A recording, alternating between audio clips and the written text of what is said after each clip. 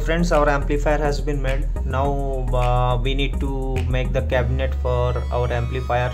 So let me show you uh, how we can make a cabinet for our amplifier. For this uh, we require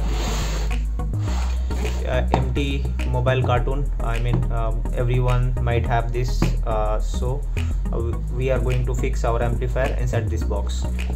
So let me show you how to uh, fix our amplifier in this box